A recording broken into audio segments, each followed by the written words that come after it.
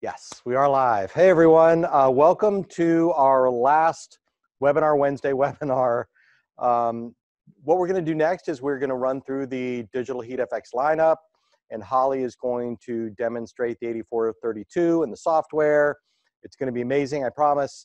Um, what I'm going to do first, just because I think just about everyone that's here has been to at least two or three of these webinars, is I'm going to explain to you how important graphics are, are again.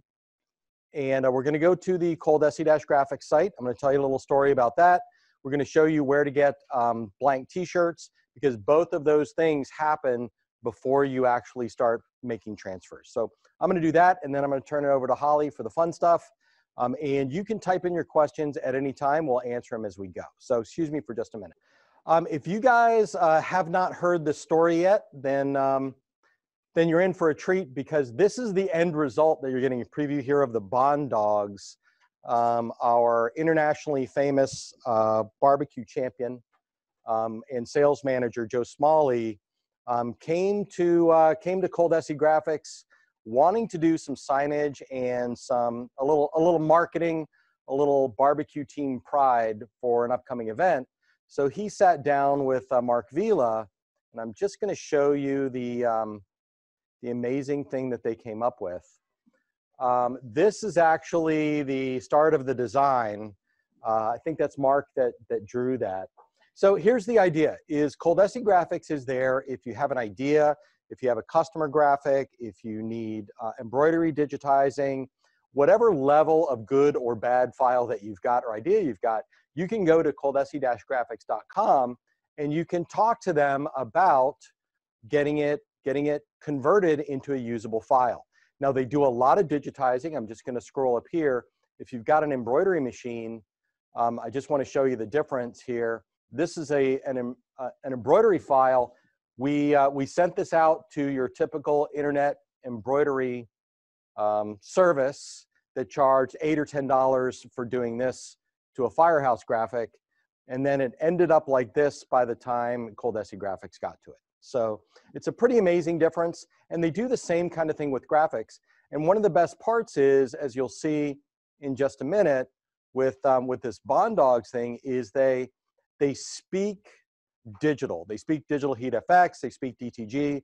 So you tell them what you're gonna do, even if you're getting into the screen print business, you can tell them you're gonna do screen printing and they can produce a great graphics file. It, it's a good experience. Um, we are using them constantly.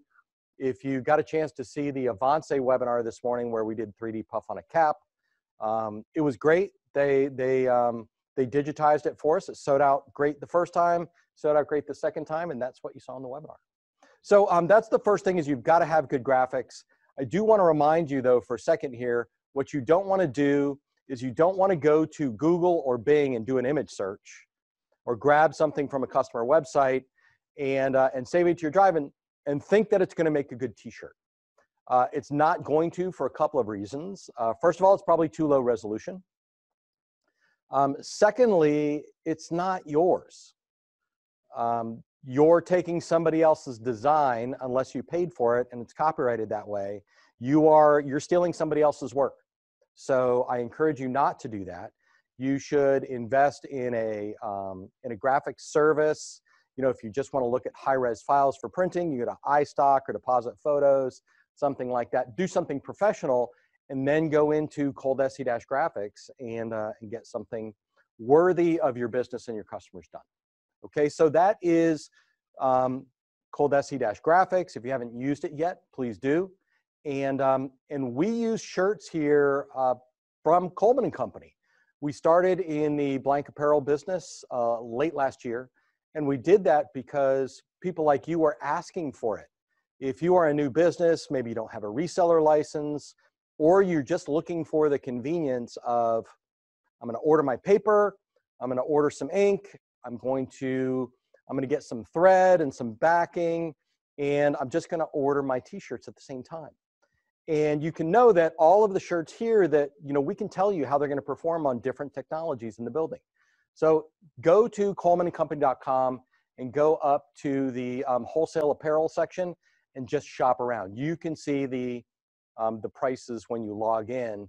What you're gonna see one of at least is the um, is the DT104, which is right here. This is what we do our DTG and um, digital heat FX samples 99% of the time. Um, it's a premium shirt, uh, which means that your that your graphics are going to look great on it. Okay, um, that is it for me. I'm going to turn it back over to um, introduce you to Holly Wood, who is going to um, going to walk you through the rest of the process. Gotta make sure my mic's on. Can everybody hear me? Yes, you're good. Awesome. Thank you guys and welcome. Thanks for staying with me so late tonight. I am the end of the role tonight. Um, my objective of today is just kind of go through the demo process with you, um, go through the process from A to B to C. And as Mark stated, we need to start with our graphic. So I'm actually going to use Joe's graphic and I'm going to go through and show you what I would do if I was going to print this t-shirt um, on multiple colors. So I am going to be printing from the 8432 today. That's my middle printer. Um, this one will print 11 by 17. we do have three models. Starting from the right, that's my i550. Print space after your graphic, mean, after your margins is about 7.8 by 11.1. My cost on those prints are about three to four cents per square inch moving on up, I feel like these two are my best for my business um, customers just because of the size and then also your cost. This one prints up to 11 by 17. Cost is about two cents per square inch. And then I've got my Big Daddy that will print up to 13 by 19. Five color printer. Sorry.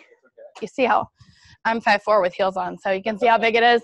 Um, it is on a cabinet. The, the printer starts about right here, but 13 by 19, five color printer, and that one is also about two cents per square inch depending on your media and i'm not going to get into all that you can talk to your salesperson about that so let's go over i'm going to take you over to my print optimizer software and i'm going to show you my graphic and we're going to start from there um, I just wanted to show you really quickly because I am going to do a front and back design on this because a lot of people want front and, front and back and I kind of wanted to show you how I do it in production just to maximize my press time.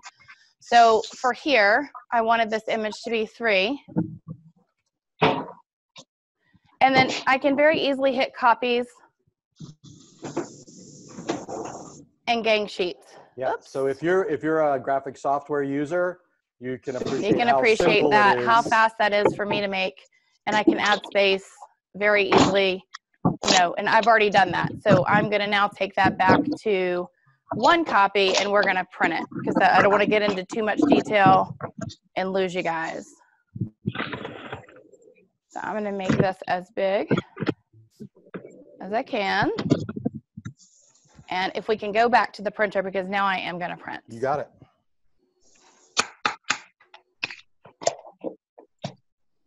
Holly, um, is there a lot of maintenance on these?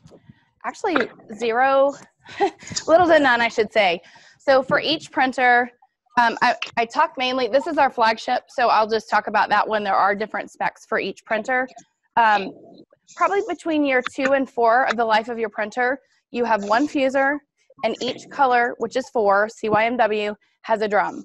So each part is around 250 bucks.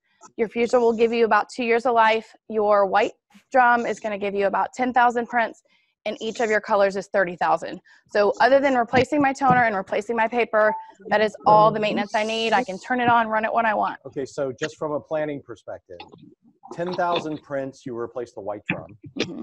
And our average customer makes what, about 10, 14 bucks I would say 8 to 15 average per okay. shirt. So, so 10 bucks. So mm-hmm. you would have made $100,000 in shirts. Exactly. Okay. So 1250 bucks. 1250 bucks over course of two to four years not so bad. Yep and we Good. sell other equipment that's a little bit more than that. so I, I'll take it.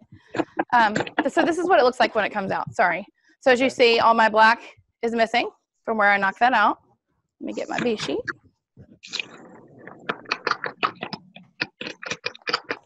So I'm going to put this in my heat press with what we call our B sheet. And what that is essentially doing is putting a white polymer just on the toner. So when I do a hot peel, that's gonna leave my glue that can be reheated for any fabric, whoops, any color, and any substrate pretty much that'll fit into my heat press. So that's one of the one of the big advantages to the whole Digital Heat FX li- lineup is you can pretty much heat press it onto any fabric. Correct. Um, this is, I don't like to talk about timing temperatures actually because they vary a little bit with printers. And some of our old videos, people surface back and they're like, well, wait, I saw this video. Yeah. So this is going to go in and cook. I do like to touch on the heat press just a little bit because every customer, for the most part, unless you're brand, brand new, everyone has a heat press. A lot of you guys started with Amazon, crafting, cool. All heat presses are not cre- created equally. This process I'm doing right now that's actually taking that glue from that B sheet and putting it on my toner is very sensitive to um, consistent heat and pressure. This one is coiled really tightly on the inside, so it's going to create any cold spots in between those coils. And it also has a digital readout for my pressure. So I can tell from zero to nine exactly what pressure I'm on, which actually helps you in every process. I don't know why all heat presses don't have that, but heat press is a very critical element in this process. Good. So so in this part of the process, how long is it? Does does it have to press? 8432 is going to be 75 seconds. My 9541 is 100, um, and those are the bigger bigger sheets as well.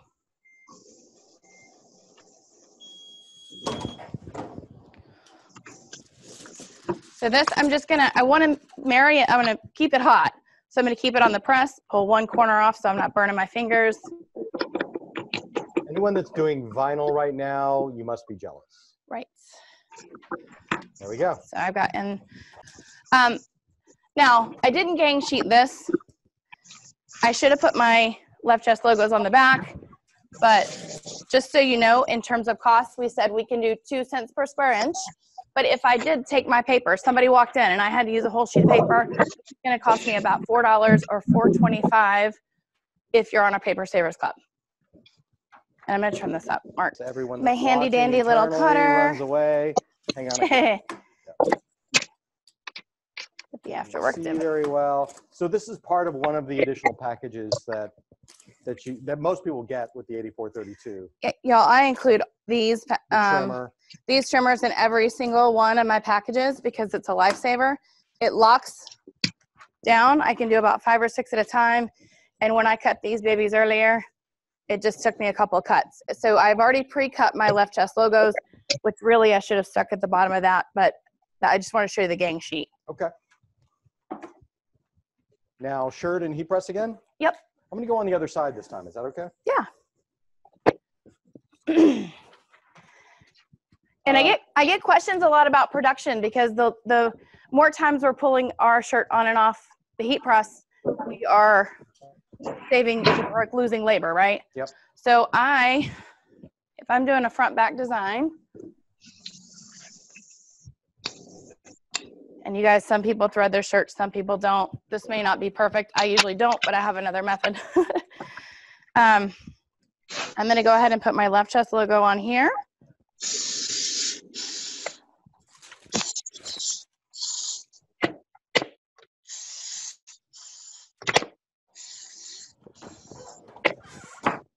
Right now, uh, we do have a question. How many seconds was it before you peeled? It was right away, wasn't it? Oh, I go right away because you want to keep it hot. You want to keep it on the heat. Um, and I know some of you guys are already customers, so I can say this. If Yeah. you ever experience your print sticking to your B sheet, I, or, I already know immediately when somebody sends me a picture, they probably pulled it off the press and it got too cold. What's the time you're doing right now? This is on 100% cotton, so I'm pressing this at 45 seconds. If I'm doing like a 50 50, it's going to be 30. So that varies, and you get like a little temperature in your uh, time chart in your uh, box.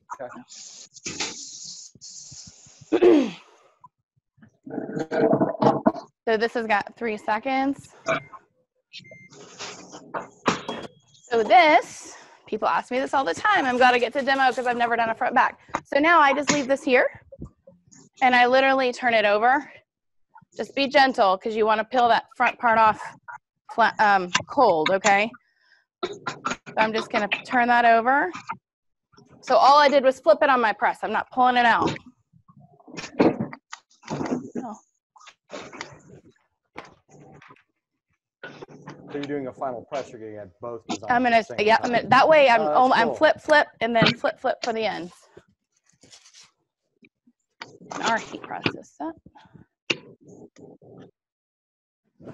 And real quick when that's pressing too, I did want to show you, I, it, so we talked about negative space.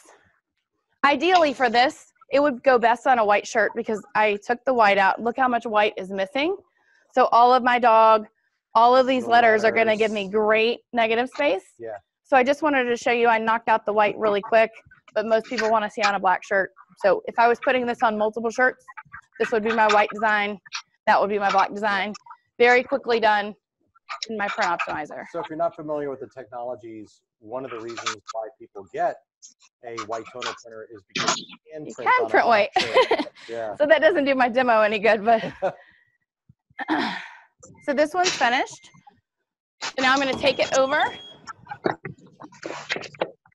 Again, if I'm in production, this is gonna be a cold peel, just toss it to the side. So uh, now I would be on to my, I would do all of my mirroring steps, and then I would do all of my pressing. I would lay this aside until it cooled, and then by the time I'm two or three shirts in, this is ready to be peeled. I wanted to talk about a little bit about cost too. Lisa we said four dollars a sheet. This, um, the left chest logos we didn't talk about. That's twenty-one cents. Right. So, because I used a whole sheet, which I didn't have to really, I probably could have gotten a couple left chest. Um, I'm four dollars and twenty-one cents into this. And are you ready? You see? Yep. Now I'm just gonna rip that off. Okay, again, for my vinyl people, Ha!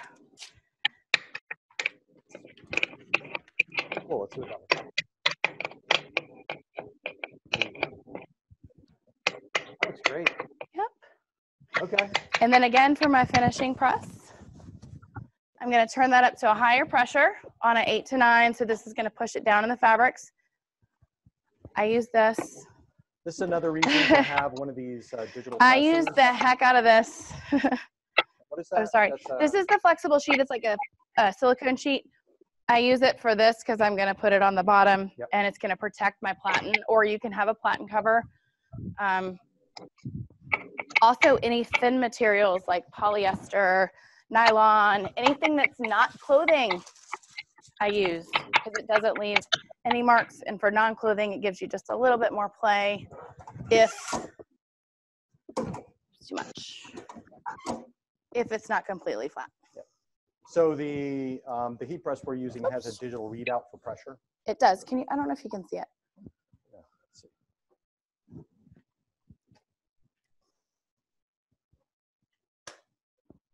And I've got one more press to go. So you'll see my temperature. My pressure can only be read when it's down, and I can only adjust it when it's up. So right now, when I pull it back up, it'll go back down to zero. And then I would have to manually adjust here. Gotcha.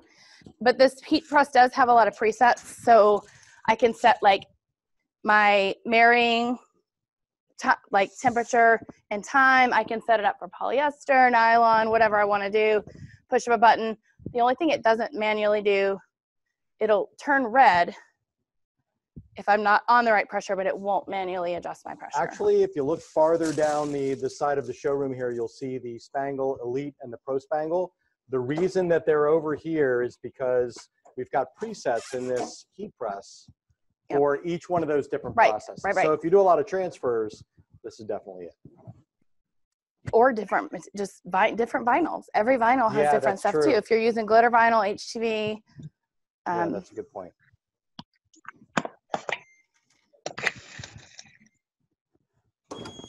That And is that's just the finished step. Yep, and I'm finished. So I've got a front back t-shirt that feels great because I've pulled the black out of it and let my black become part of my design. Come back over here and show. I also have a whole sheet of left chest logos that are married. Yep. And oh, can you see? Sorry. And then, Once those sheets are married, there's no shelf life either. that looks great. So say I do a lot for these bolt these dogs, I can just the print black in there. the gang sheets of the left or two of these or whatever, and I can just toss them aside and press them whenever I'm ready. See, that's a Throw those solid in a colored koozie. shirt. That's Yeah. the difference. Give them a freebie, There you go. sell some more stuff. Okay, cool. Uh, we've, we've actually got another five minutes or so left if you wanted to go through some of the other things that you can do. Sure. Does it, do we have any questions? got a By the way, I didn't. No, just Right. that Bee City is uh, Love's Okay. no production tip. Oh, So, thank you. yeah. I knew I could help somebody, right? Yeah, there you go. Yeah, no, the the less you can pull the, the shirt on and off, the faster you're gonna be. Let's spin this around. Yep. That's what I love about this printer is you have so much versatility. All of these products were made. Um, a lo- I get a lot of people asking about wood. Um, th- and this is actually, I always finish shirts because that's going to push it down and give me my 40 to 60 washes. But with wood, this is the same design. This is shiny and this is matte. So you can kind of have some flexibility there. Here is some slate. And this I'm, was all. I'm this not a very all good hand done- model with. Yeah. This was all done with the same paper that we did the T-shirts on. uh, packaging. Damn cardboard, t-shirt so, on my keyboard's not Uh, typing. if you guys are a lot of Etsy folks, I know use this stuff and they like to have pretty packaging. Let's see, metal looks great on metal. Super easy too. And that tiki bar is a great idea right now. Yes, it's, it is beer thirty, right? Yep. Beer six o'clock. Where are we? Um, a lot of people like this one. It's a mirror. oh yeah, that looks great. Okay. So all kinds of stuff. Um, if you listen to Mark Mark and Mark's podcast, they talk about throwing in freebies. Koozies are an easy freebie. I did that whole sheet of transfers with the bond dogs. That may be something that you hand out, and it's you throw it in your package. So maybe next time they order a order koozies from you. Yeah, cool. So All right, I think um, I think that will do it. What we're going to do next is we are going to um, I'm going to put the website address up there so you can chat if you want to. Okay. Um, I'm also going to turn off the video and stop the recording, but we'll leave the chat up for a few minutes so you guys can type in any questions. All right. Thanks, Holly. thank you guys for joining again.